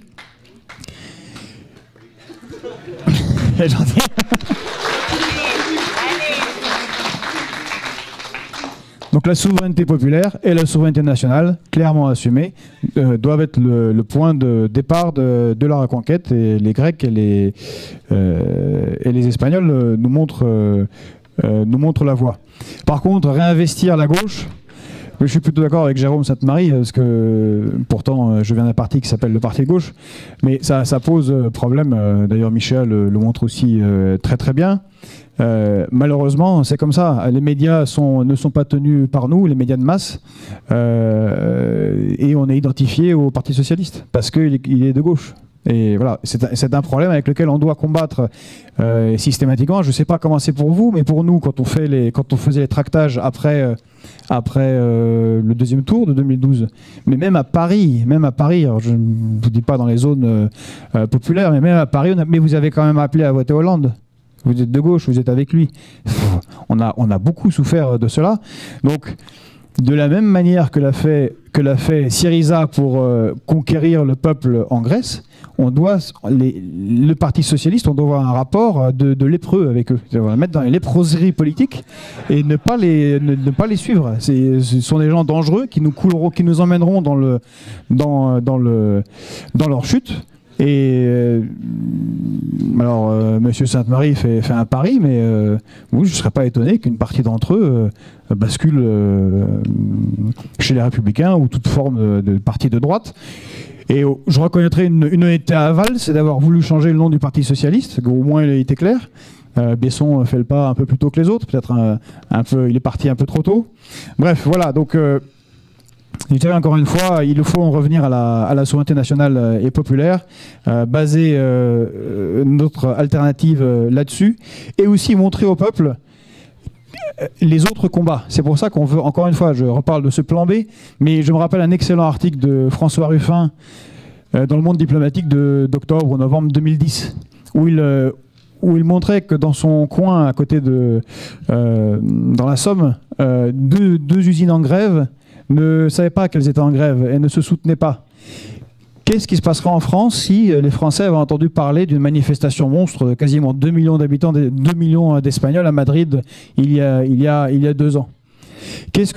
Comment s'organiseraient les luttes si on échangeait des, entre des, syndicalistes euh, qui se battent, euh, comme disait Edouard Martin, au premier rang euh, contre le patronat, avec les mineurs des Asturies, qui sont allés jusqu'à faire des lance-roquettes de, de facture. Mais si, ils ont fait des lance-roquettes par eux-mêmes pour lutter contre la police qui leur a été envoyée pendant des mois. Mais c'est pas su, puisque ça n'est pas rapporté dans les médias, et on doit faire cet effort de mettre en lien pour s'unir et être plus fort. Voilà.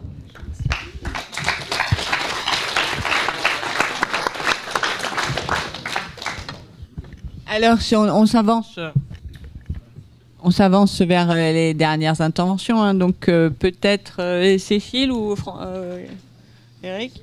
Allez. Non, c'est Edouard. Edouard. Mais c'est pas grave. Non, ça, je vais vous dire. C'est pas grave, c'est pas grave, c'est Je vais bien vous aussi, dire Eric. pourquoi c'est. Non, c'est bien. Voilà, c'est ça. Mon lapsus vient. Mon lapsus vient d'Éric Besson, puisque c'était le député de Montélimar, de la Drôme. Donc ça m'a. Si Dieu se rappelle, ne- n'est pas un bon souvenir. Donc du coup. euh, Bon. Et je ne confonds pas. Non, non, non, non. non. Si ça vous fait plaisir, appelez-moi Eric, c'est pas un problème.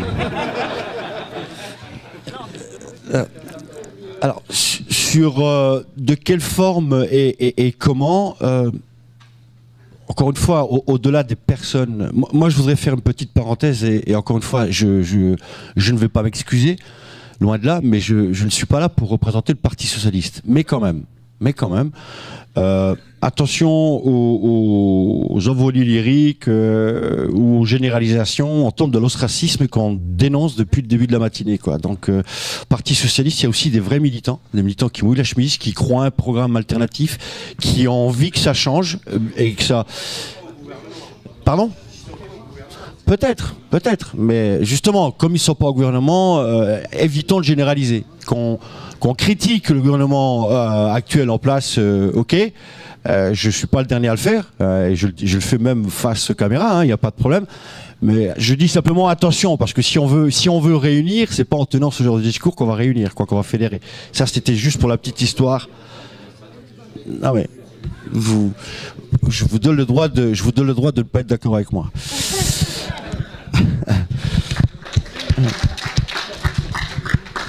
Je dirais, je dirais, je dirais tout simplement, mais ça, ça a été dit par, euh, je suis désolé, j'ai oublié ton prénom, le copain du parti de gauche. Georges. Georges. C'est effectivement, il faut. Alors c'est vachement facile à dire. hein, le, maintenant, c'est le comment, ça va être autre chose. Il faut effectivement construire un, un programme basé euh, et construit avec et pour les citoyens. Je crois qu'une des forces de, de, de Podemos, qui, qui l'a très bien fait, c'est qu'il est parti effectivement euh, de, de, quartiers dans les communes, dans les communes euh, petites, euh, moyennes, grandes, etc. Et on a vu que petit à petit, les, les débats euh, démocratiques, euh, euh, mais aussi le, le pas simplement le sentiment que les citoyens étaient écoutés par des candidats, mais qu'ils étaient leurs paroles étaient prises en compte, etc. C'est tout le travail qui nous reste à faire, et c'est pas une mince affaire. C'est pas une mince affaire parce que euh, euh, on l'a vu, euh, on, l'a vu sur Je prendre un exemple personnel, on l'a vu sur Florange. Lorsque Mittal décide de fermer une usine qui impacte la vie d'une vallée qui comporte 50 000 habitants à peu près, et que nous sommes une petite poignée à nous battre pour essayer de résister, je dis pas qu'il fallait pas le faire, mais je suis pas sûr, je suis pas sûr que euh, ça parle vraiment aux citoyens, ce genre de choses. C'est ça. Et, notre difficulté, c'est pour construire ce programme-là, il faudra qu'on soit convaincu, je pense qu'on l'est tous, mais il faudra qu'on soit convaincant. Et c'est là où, moi, il me manque une clé euh, pour ouvrir cette porte-là. Comment faire que... Parce que des programmes de... Euh, des programmes de comment dire du vivre ensemble, de solidarité, de partage des richesses, de démocratie, euh, de respect de l'autre, etc. Je veux dire que ce soit le Parti communiste depuis euh, depuis plus de 100 ans, que ce soit Jean-Luc Mélenchon, que ce soit d'autres, ce sont des programmes et en tout cas ce sont euh, euh, des, des, des, valeurs et, et des discours qu'ils sont portés. Et je n'arrive pas à comprendre, je n'arrive pas à comprendre qu'on n'arrive pas à percer. C'est là où, où, il me manque, cette clé-là. Euh, je ne sais pas si c'est lié au programme ou aux personnes. Euh, je pense, plutôt que euh, effectivement, il faut ramener la, preuve pour l'exemple, euh, la, preuve par l'exemple et démontrer que effectivement, des villes gérées par Podemos en Espagne actuellement, que ce soit Barcelone, Cadix ou ailleurs, eh bien ça marche. Il faudrait peut-être des exemples concrets et montrer aux citoyens français, eh bien quand le peuple décide de se prendre en main, eh bien ça marche et ça marche plutôt mieux.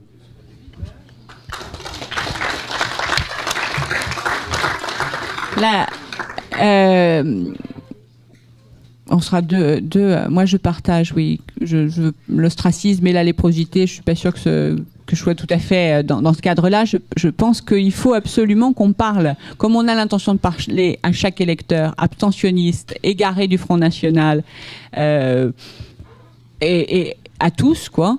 Euh, on parle à tous les militants parce que on n'en a pas de trop des militants. Et fussent-ils quelquefois dans l'erreur, on a besoin de leur parler euh, à tous, me semble-t-il. Ça ne nous dégage pas de savoir comment on rend de la crédibilité euh, à un positionnement à gauche, ce qui est vraiment notre problème, puisque par contre, ça c'est vrai, euh, euh on est assimilé euh, au gouvernement socialiste, qui est donc la gauche, qui est donc nous tous. Et malgré tout, le problème n'est pas résolu en essayant de se distinguer, puisque sinon, euh, de ce point de vue-là, peut-être le Front de gauche serait déjà le et le Parti de gauche en particulier, surtout, serait déjà euh, euh, à 25% parce que Dieu sait que vous, avez fait des efforts pour vous distinguer et que ce soit absolument franc et massif, mais c'est pas non plus, ça ne marche pas non plus. Donc, on a la solution, on la trouvera probablement en marchant dans une dynamique. Peut-être que Jérôme veut rajouter un, un mot ou, ou pas, pas, mais c'est sur mais voilà c'est sur ces questions là comment on marche dans le dans, dans, dans, dans, dans le combat comment on arrive à trouver des solutions. Il y en a beaucoup qui ont été évoqués peut-être qu'on peut vous donner à tous une, une, un mot de, de, de conclusion sur, sur, sur, et oui Cécile par contre. Oui c'est vrai qu'elle n'avait pas eu la parole sur le dernier point. Pardon excuse-moi. donc Cécile d'abord et ensuite un dernier un dernier mot de tous en deux phrases sur euh, peut-être les puisque j'ai commencé je vais le finir, ça je le redirai pas, mais euh, plusieurs choses ont été euh, euh, dites. Le plan B, est-ce que cette euh, proposition qui est faite par, euh, que moi j'ai entendu dans la bouche de Varoufakis, que j'ai entendu dans un certain nombre de, de, portée par euh, plusieurs, est-ce que c'est est -ce que un outil intéressant et comment on le met en œuvre? Parce que nous, un plan B, on en a même un plan B et un plan C pour l'Europe, donc on est, on est prêt à fournir, ça c'est sûr, et pour contre l'austérité aussi. Est-ce que le réinvestissement de la nation, il faut que ce soit aussi visible? Il y en a bien qui se sont euh, appelés euh, les républicains, pourquoi ne serions-nous pas euh, les patriotes ou patriotes ou à faire un appel aux patriotes ou aux soldats de l'an 2 puisque Valmy a été, nous pouvons être les soldats de l'an 2 dans la guerre économique, mais Jacobin. Allez, le brainstorming commence. Ce que je veux dire, c'est que comment nous parlons comment nous parlons aux électeurs pour nous faire comprendre et rendre une, de la crédibilité, peut-être comment nous laissons la place euh, à ceux qui euh, peut-être euh, ne, sont pas dans l'action politique depuis aussi longtemps que d'autres, tout en considérant malgré tout euh, qu'avoir la connaissance, euh, avoir euh, réfléchi, être dans, cette rébellion permanente qui est la caractéristique peut-être des gens qui sont à cette, tribune, d'être rebelles et de toujours vouloir quand même changer le monde devant nous. Voilà, c'est quelles sont les premières pistes que vous retiendrez Donc la, parole à Cécile pour le dernier point et ensuite chacun une, une, minute pour dire quelle est la, la, là où les deux priorités qui lui paraîtraient importantes de développer. Oui, non, mais je vais, vais pas euh, en rajouter plus que ça. Mais bon, tout d'abord, euh, je pense pas être résignée. Euh, mais je tiens aussi quand même à dire que moi, personnellement, je ne fais pas de la politique pour faire rêver les gens. Voilà, je, fais de la politique avant tout pour changer les choses et donc je prends aussi la société comme elle est et l'état de la population française où elle en est aujourd'hui. Alors effectivement, euh, entre 1 degré et 100 degrés peut tout bouger. La question est finalement à, quel degré on est dans, dans l'ébullition de, notre société. Euh, mais, mais prenons toujours garde euh, de ne pas euh, la voir plus haut parce que nous voudrions la voir plus haut que ce qu'elle n'est vraiment. Après, dire cela, ce n'est pas se résigner, c'est au contraire euh, s'interroger et comment est-ce que nous nous donnons les moyens pour accélérer cette ébullition. Je vais rester sur cette, métaphore. Comment est-ce que, euh, effectivement, on répond à ce que l'on a dit, à ce que l'on sent, à, euh, parce que dans la, la, population, mais, les mêmes individus sont dans la contradiction. Il y a à la fois de la fatalité, il y a à la fois de la résignation, il y a à la fois de l'envie d'en découdre, et, il y a surtout l'envie d'en sortir durablement de, cette situation. Et, du coup, euh, comment est-ce que tout ça, on, on le met en mouvement pour y arriver? Alors on a des difficultés, tout le monde l'a dit. Euh, la question euh, bon, du gouvernement et moi là où j'en veux au, gouvernement et à François Hollande, c'est même pas de faire ce qu'il fait, c'est d'avoir fait une campagne aux antipodes de ce qu'il fait. C'est en cela que je pense qu'il y a une trahison entre guillemets. Voilà, c'est-à-dire qu'il y a eu un moment donné où il y a eu euh, mensonge dans le lien intrinsèque entre euh, la démocratie, les citoyens et, et leurs représentants, en l'occurrence là, un président de la République. Mais, c'est ça qui est dangereux dans ce qui s'est passé. C'est pas que euh, euh, comprenez-moi bien. Hein, c'est pas qu'il y ait des politiques libérales qui se mènent en France. Celles-ci, on peut les combattre, on peut les contester. Mais là où d'ailleurs on voit que le combat devient compliqué, c'est qu'effectivement il y a un côté un peu euh, euh, compliqué dans la tête de chacun, c'est que euh, on a voté pour quelqu'un qui met en place la politique contraire à celle que l'on voudrait. Et aujourd'hui, il faudrait donc se battre contre la personne. Voilà. Et, tout ça devient du coup plus compliqué parce que quand on parle de la gauche en France, le Parti socialiste reste encore un parti structurant de cette gauche française. On peut en penser ce qu'on en veut. On peut tous se réunir et faire de l'antisocialisme primaire. Et je, et, je, et je peux le faire et je peux dire tout le mal que je pense de tous les socialistes, de tous les coups bas, de toutes les saloperies, je vais, je vais même le dire, qu'ils ont fait euh, programmatique ou personnel. Mais une fois que j'ai fait cela, je n'ai pas fait avancer parce que effectivement, d'abord, il y a des gens euh, euh, qui n'en sont pas là. Il y a des, militants sincères et ils sont nombreux et on les connaît. Il y a aujourd'hui un certain nombre de, gens au Parti socialiste qui ne qui ne partent pas le parti, qui ne quittent, qui ne le quittent pas. Pourquoi? Parce qu'ils ne veulent pas le laisser à valser à ses amis et qui donc ils pensent que le combat. Voilà. Après, on peut dire qu'il manque de courage, certainement. On peut dire qu'il faudrait qu'ils fassent autre chose, peut-être. Mais ils en sont là. Moi, vous savez, j'ai été dans un parti qui a été traversé par la question quand on était au gouvernement. Voilà, fallait-il ou pas le quitter? Euh, bah, je, crois qu'heureusement que le plus grand nombre y est resté, que c'est ensemble que nous avons pris euh, les enseignements de ce qui s'est passé euh, et les difficultés à être un gouvernement tout en restant dans le combat. Et, et, et je, voilà, c'est pour ça que je, c'est pas de la résignation, mais oui, l'alternative, elle va être compliquée parce que toutes ces questions-là, elles traversent l'ensemble des formations politiques de gauche. Il faut qu'on arrive à sortir de, euh, de tourner autour du Parti socialiste et en même temps, on peut pas lui mettre une croix dessus parce que sinon, bah voilà, on fait le constat que on, on, ça progresse pas forcément. Et je crois, je finirai là-dessus, que c'est aussi la différence avec Podemos et Syriza. Parce que bon, euh, on les cite, c'est bien, tout le monde se, glorifie de ce qui s'est passé à Podemos à Syriza. Tout d'abord, alors, Je crois qu'on on est, nombreux à avoir des, origines espagnoles. Euh, j'ai même des, comme je tends j'aime à le dire, des origines catalanes et, communistes, communistes catalanes d'ailleurs, plutôt dans l'ordre, euh, qui, rendent les choses d'ailleurs très compliquées dans le combat. Euh, mais je sais que ça va en énerver, mais je vais le poser justement dans ce sens-là, parce que effectivement l'Espagne, ce n'est pas la France dans sa construction, dans son histoire.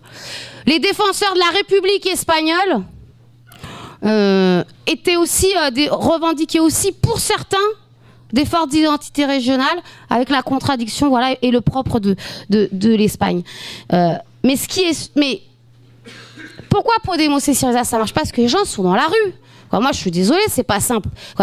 Euh, Podemos ça marche dans une monarchie. Donc c'est pas que la question de la République et de la nation qui fait la réussite de ces mouvements-là. Bien sûr que L'échec de la France, c'est que l'idéal de nation et de république qui a été celle de la gauche n'est plus aujourd'hui mis en œuvre. Et y compris, ça, enferme, je crois, les gens plutôt que de leur permettre de se rassembler et de s'exprimer dans la rue. Mais ce n'est pas que ça qui fait la victoire des mouvements euh, tels que Podemos et Syriza. C'est que la situation d'un salarié ou d'un fonctionnaire espagnol ou grec, excusez-moi, je ne souhaite pas qu'elle soit pire en France, mais elle est bien plus catastrophique que ce qu'on vit en France. La question du peuple grec ou du peuple espagnol, ce n'est pas de, se battre contre une baisse du pouvoir d'achat ça a été des coupes franches dans les salaires, dans les pensions des retraités, auxquelles se sont rajoutées la question des impôts, la question du pouvoir d'achat, etc. Mesurons euh, là où on est le peuple grec et le peuple espagnol, ce qui l'amène à se soulever et mesurons qu'en France, quand on fait passer, quand on discute au Parlement la loi Macron, au Sénat, c'est trois semaines, il y a une journée de mobilisation. Alors, quand je dis ça, je n'attaque pas le, monde syndical euh, sur le fait qu'il n'aurait pas fait plus ou mieux, mais parce que le monde syndical a été aussi dans cette, dans, dans cette confrontation à la réalité. C'est-à-dire que l'appel à la grève, l'appel à la mobilisation, on en fait tous, on peut en faire tous tous les jours. Euh, ensuite, il faut que ça réussisse. Et, c'est pour ça que je parlais de la contradiction et de nos difficultés aujourd'hui. Ce qui ne veut pas dire qu'il faut en, rabaisser, ce qui ne veut pas dire qu'il faut euh, arrêter de se battre.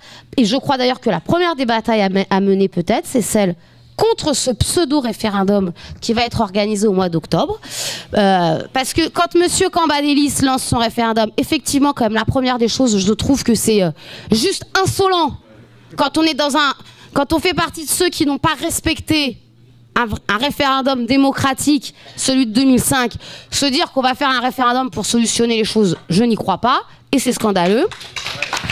La deuxième chose, c'est parce que l'unité, l'unité en politique, elle ne se fait pas par référendum, parce que l'unité et la victoire de l'unité, ce n'est pas être euh, devant la droite euh, devant l'extrême droite, mais c'est faire réellement gagner la gauche. Et donc cela, ça ne se fait pas par oui ou non tous ensemble. Ça, je le dis, je l'ai dit, donc je vais pas le redire. Ça se fait sur des programmes. Moi, vous savez, euh, euh, en 2010, il y a eu plein de régions où il y avait trois listes aux élections régionales. Je crois que c'est ça qui a permis, qui a permis à ce que la droite ne l'emporte pas dans les régions. Donc vous savez, des fois, la diversité de l'expression de la gauche, c'est aussi ce qui permet de gagner parce que voilà, le mode de scrutin en France n'est pas celui ni de la Grèce ni de l'Espagne d'ailleurs, et donc nous invite forcément à des, à des stratégies et des tactiques électorales différentes, différentes selon, selon les, élections.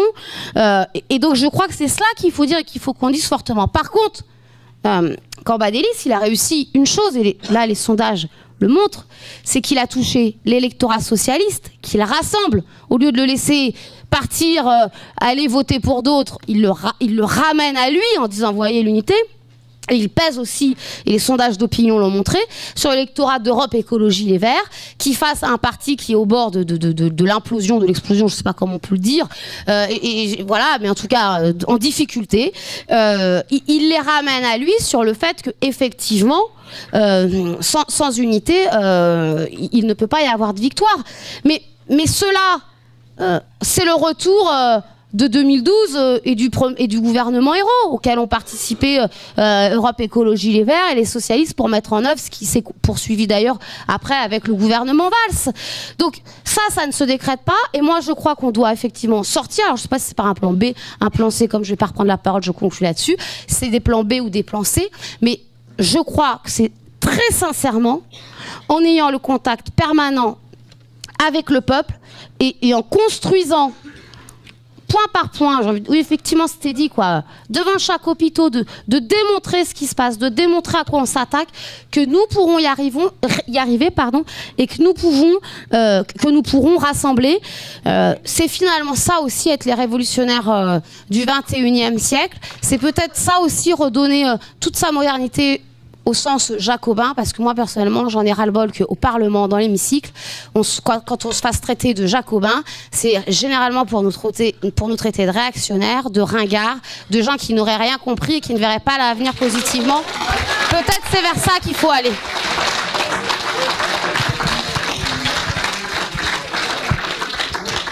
Le brainstorming avance. Euh, Jérôme Sainte-Marie. Merci. Pour ma dernière et courte intervention, euh, je voudrais soulever euh, trois points. Et le premier sera une, réaction par rapport à ce que je viens d'entendre. Je trouve ça très injuste. Je trouve ça très injuste pour François Hollande, dans la mesure où, d'une part, il n'a pas tellement promis que ça, faut être honnête, et que, et que d'autre part, et que d'autre part, il représente admirablement une partie importante des électeurs socialistes.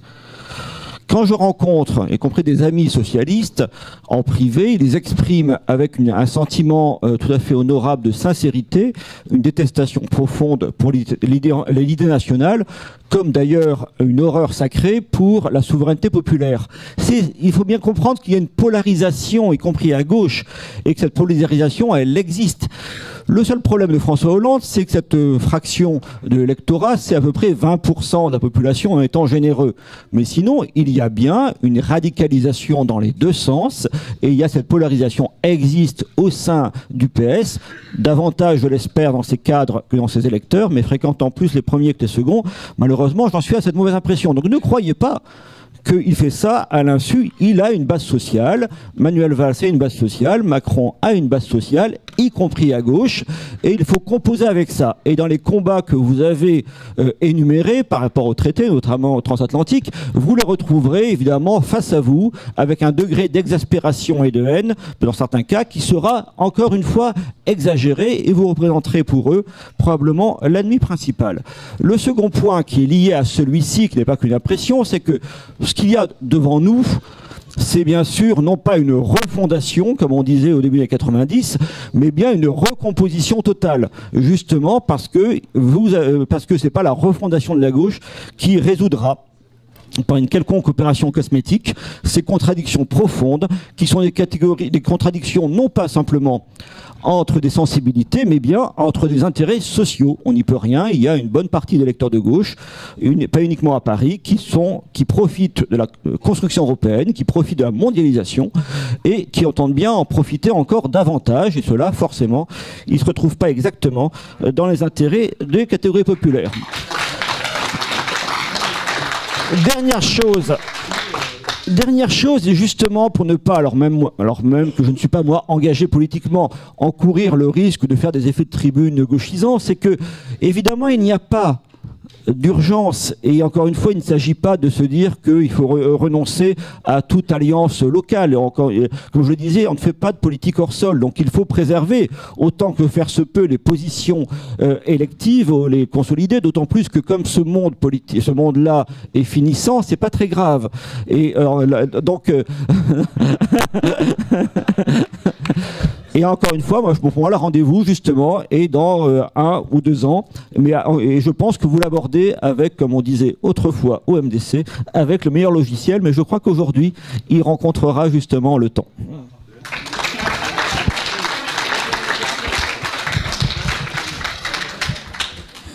Oui, alors euh, juste un, un, mot, la léproserie par rapport au PS euh, impliquait évidemment la direction du Parti Socialiste et plutôt Solferino que ses militants, dont une grande partie sont, sont, les plus déprimés peut-être euh, de tous ceux à gauche euh, de la politique menée par, euh, par leurs représentants de leur parti.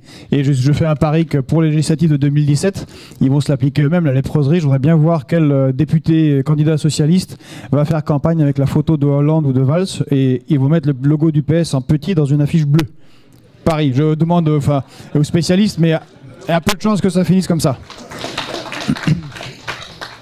De toute façon, le PS se met une croix à lui-même, on le voit à toutes les élections. Euh, le sondeur euh, confirmera ou contredira, mais je crois que les projections en l'état actuel des choses, c'est 55 députés du PS. C'est-à-dire la, la Bérésina, la pire, jamais euh, qui sont jamais ce, à ce parti dans une élection. Alors, je crois qu'on est tous d'accord sur le fait qu'il faut euh, les exemples euh, grecs, euh, grecs et espagnols le montrent. Il faut en revenir au peuple, faire ce qu'on appelle l'action sociale. Et je souhaiterais rendre hommage au Parti communiste français qui, pendant des décennies, a tenu la tranchée de ce côté-là et a organisé les, classes populaires, a fait, a fait, les a fait vivre et justement les a fait rêver. Et moi, au contraire, je pense qu'il faut rêver, il faut donner du rêve en politique. Parce que le FN, lui, donne un rêve en négatif et une, partie du vote euh, Front National est un, est un acte nihiliste euh, pour une partie de l'électorat qui ne se, justement n'adhère pas à l'idéologie mais pas un ras-le-bol euh, rêve d'une destruction de, de, de, la société telle qu'elle est et qui lui nuit. Et effectivement, on a un problème, il y a une polarisation à gauche. Ce n'est pas certain qu'on unisse tout, tout, ce qu'on appelle la gauche encore une fois, je suis d'accord avec Jérôme Sainte-Marie euh, là-dessus. Il, y a, euh, il y a un socle, il y a un socle euh, qui vote pour le Parti socialiste, qui pourrait aussi bien voter pour le centre ou maintenant pour les Républicains, et qui est inscrit dans ce qu'on appelait, et ce qu'on appelle toujours, la lutte des classes, et qui ont un intérêt à l'organisation du monde tel qu'il est, qui n'est pas l'intérêt des classes populaires, des, petites classes moyennes et, des, employés.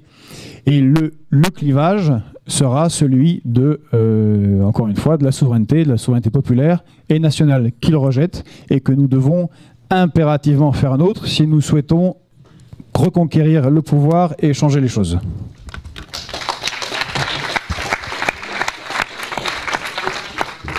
On va continuer dans l'axe. Ça va, être, ça va être très bref. Moi, j'ai simplement envie de dire que, effectivement, euh, il faut qu'on démontre que euh, et, nous avons des exemples en France. Euh, il ne faut pas aller en Grèce ou en Espagne, même si effectivement il faut regarder ce qui se passe là-bas. Mais en France, lorsqu'une ville, lorsqu'une région est gérée par la gauche, et bien souvent, et je dirais dans tous les cas de figure, c'est effectivement pas que le Parti socialiste. Il y a des alliances hein, avec l'ensemble des, mouvements de gauche. Eh bien, c'est pas c'est pas la même chose. Une ville de gauche, c'est pas euh, géré de la même manière qu'une ville de droite. Une région de gauche, c'est pas ça. Il faut qu'on le démontre. Je pense qu'il faut, il faut. Euh, on a aussi des atouts qu'il faut qu'il faut valoriser. Mais, mais, euh, et ça a été un peu l'objet transversal de, de, de, ce débat. on ne pourra pas construire un programme, une alternative, quelle qu'elle soit, si nous n'avons pas la confiance des citoyens. Et donc, il faut s'appuyer aussi sur les corps intermédiaires, le tissu associatif, le monde syndical, etc. Ça, je pense qu'il faut donner encore un peu plus de visibilité et de force là-dessus. Et pour finir, un petit clin d'œil à Jérôme euh, Sainte-Marie, c'est ça? Puisque euh, les hommes politiques, euh, nous nous trompons toujours. J'espère que pour une fois, les instituts de sondage auront raison. Voilà, merci.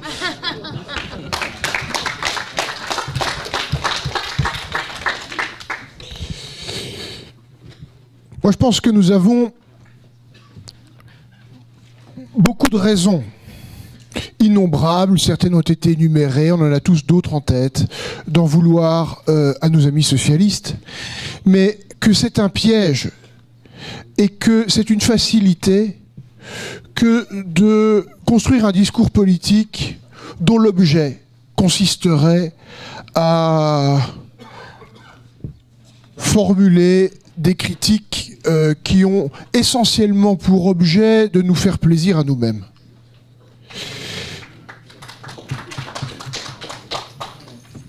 Bon, nous, sommes des militants politiques. Alors, bien sûr, on, sait tous qu'il est facile de mobiliser des militants politiques contre quelque chose.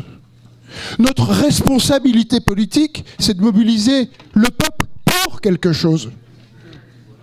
Et je vois le piège, et, c'est la raison d'ailleurs pour laquelle, euh, d'une certaine manière, le positionnement euh, suiviste des uns, qu'on pourrait qualifier comme tel, ou le positionnement puriste, c'est-à-dire euh, les lépreux des autres, sont confrontés auprès de la population exactement au même rejet. Ça ne fonctionne pas. L'antisocialisme, comme le socialisme euh, de révérence, ne fonctionne pas. Et justement, les citoyens en France attendent de nous autre chose que des postures politiques. Ils veulent de nous des positions politiques. Et la position, c'est le projet. C'est-à-dire construire. Où va-t-on? Quel espoir peut-on formuler, mettre en, forme pour eux Si nous ne nous mobilisons pas pour ça, ben, nous allons organiser des colloques, en fait, et des colloques, mais qui ne déboucheront sur rien. La responsabilité politique, c'est d'être utile. Donc ça, je pense, c'est le premier point que je voulais aborder, mais qui me semble important. Quel projet? Alors, je vais avoir 30 secondes pour donner rapidement, comme ça, quelques thématiques qui me semblent euh, euh, fondamentales. D'abord, sur la question européenne, je dirais deux choses. Nous sommes dans la nécessité de clarifier les choses, de rédiger un nouveau traité qui remplace, qui se substitue à tous les autres, qui repartent du réel. Le réel, c'est ce dont parlait Thierry Cotel hier. La coopération, c'est d'abord les coopérations réelles, c'est-à-dire Airbus, c'est-à-dire les grands projets industriels, c'est-à-dire la recherche. On ne pourra avoir une vision européenne qu'à partir du commun que l'on sera capable de construire. Construire le commun précède construire les formes, les constitutions. Tous ceux qui imaginent sortir de la nasse dans laquelle on est par une pure forme, c'est-à-dire euh, des constitutions, euh, euh, le grand saut fédéral, n'ont pas idée, à mon sens, de l'ampleur du projet. Il y a un problème de calendrier dans leur tête. on parlera peut-être un jour de fédération, mais pas nous, en fait. Cette question-là ne nous sera jamais posée à nous. Et la question, ce n'est pas tellement de savoir ce qu'on veut. C'est d'abord la question d'identifier ce que l'on peut. Partir du réel. L'Europe a besoin d'une nouvelle réelle politique. C'est ce que nous nous sommes, je crois, toujours efforcés de faire, mais c'est dans le cadre d'un nouveau traité, ce que nous devons accepter d'aborder. Mettons toutes nos breloques euh, symboliques de côté pour accepter d'aborder le concret. La monnaie, faudra l'aborder, cette question-là. Ben, je dirais, soit on la change, la monnaie, soit on change la monnaie unique, c'est-à-dire ses règles et sa configuration, soit on change de monnaie. C'est cela l'alternative que nous aurons en Europe. Soit nous arrivons à modifier profondément les règles de la politique monétaire européenne, mais si tel n'est pas le cas, il faudra assumer, accepter, être capable de le présenter comme un projet d'avenir, qu'il euh, faudra la monnaie commune. Je ne reviens pas sur tous ces éléments que nous avons déjà beaucoup développés. Ça, c'est sur la partie européenne.